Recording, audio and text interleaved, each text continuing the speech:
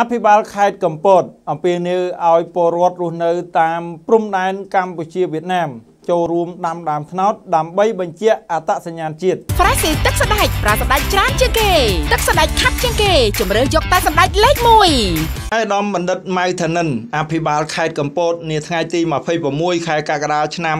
2022នេះបានអំពាវនាវឲ្យអាជ្ញាធរនិងប្រជាពលរដ្ឋរស់នៅតាមតំបន់ព្រំដែនកម្ពុជាវៀតណាមចូលរួមដាំដើមត្នោតដើម្បីបញ្ជាក់អត្តសញ្ញាណជាតិការអំពាវនាវបែបនេះធ្វើឡើងនៅក្នុងឱកាសចូលរួមក្នុងពិធីអបអរបុណ្យរុក្ខទេវវា9កក្កដាឆ្នាំ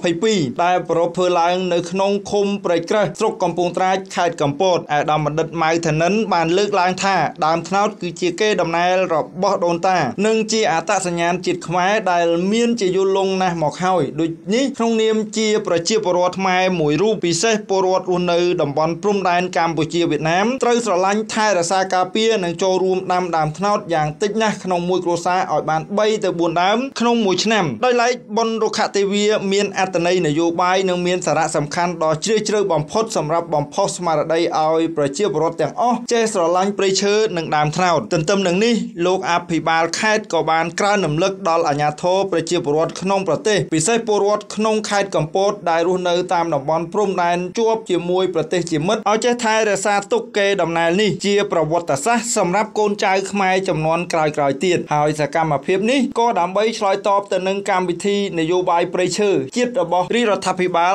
ដែលបានអនុវត្តដំណើរទម្រង់វិស័យព្រៃឈើនិងបានកំណត់យកបញ្ហាព្រៃឈើជាអត្តភាពដើម្បីស្ដារនិងអភិវឌ្ឍប្រទេសជាតិឲ្យបានរីកចម្រើន អភិបាលខេត្តបានបន្តថាការដាំកូនឈើនិងដាំកូនត្នោតនៅសងខាងផ្លូវខ្សែក្រវ៉ាត់ព្រំដែនកម្ពុជាវៀតណាមក្នុងគុំព្រៃក្រឹសនាពេលនេះបានបង្ហាញអំពីឆន្ទៈស្មារតីស្រឡាញ់ជាតិថែរក្សាការពារកេរដំណែលដូនតា ពិសេសដើម្បីរក្សាទុកជាប្រវត្តិសាស្ត្រសម្រាប់ក្មេងចំនួនក្រោយក្រោយទៀតជាមួយគ្នានេះដែរលោកច័ន្ទរិទ្ធប្រធានមន្ទីរកសិកម្មរុក្ខាប្រមាញ់និងនេសាទខេត្តកំពតបានលើកបញ្ជាក់ក្នុងរបាយការណ៍ថាដោយទទួលបានការណែនាំពីលោកអភិបាលខេត្តខណ្ឌរដ្ឋបាលព្រៃឈើខេត្តកំពត នៅឆមាសទី1បានបណ្ដុះកូនត្នោតបានចំនួន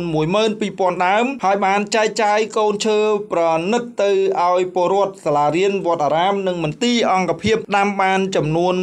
511ដើមដោយឡែកក្នុងពិធីបុណ្យរុក្ខទេវា9កក្កដាឆ្នាំ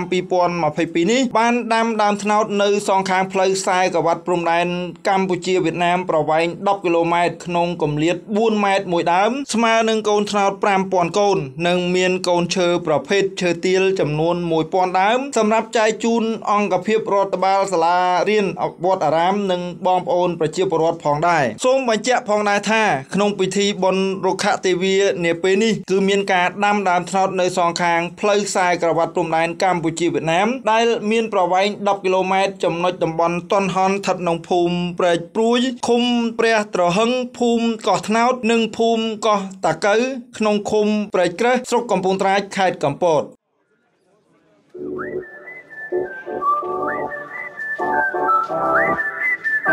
You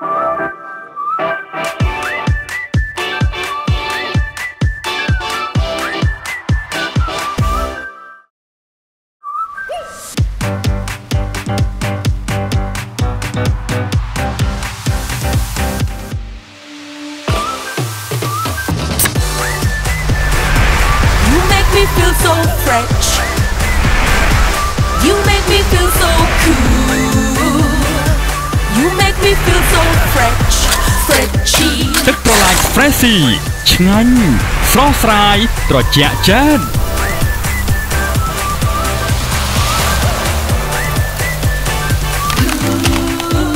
Refreshing winter melon, refreshing cools.